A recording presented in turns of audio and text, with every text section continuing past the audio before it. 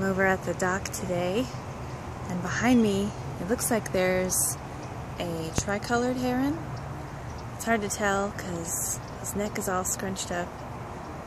But the tricolored heron has a white stripe down the center of its neck and down its belly, and it's got a little bit of red, I think, on his head, or maybe somewhere else, but it's basically uh, red, white, and blue and I like to think that it was named tricolor heron after the French flag and I like to imagine that maybe it got that name because it was seen a lot in the swamps of um, Louisiana so that's kind of my theory behind why it's called a tricolored heron. I don't know if that's true or not but they're really cool and um, they're tricolored. It's three colors.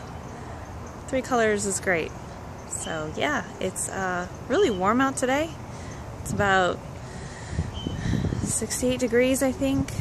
Really sunny and warm and beautiful, and um, I hope you get to go outside today and have a sublime day.